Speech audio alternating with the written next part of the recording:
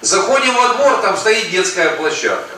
Я говорю, послушайте, так у вас стоит детская площадка. Так, Юрий Федорович, она уже старая, ее надо заменить. А нет, послушайте, в ЖКХ проще взять кисточку красную, э, краску и зеленую, желтую, просто покрасьте, она такая же и будет, эта горка. Она не поломана, там, горки или это, а площадка.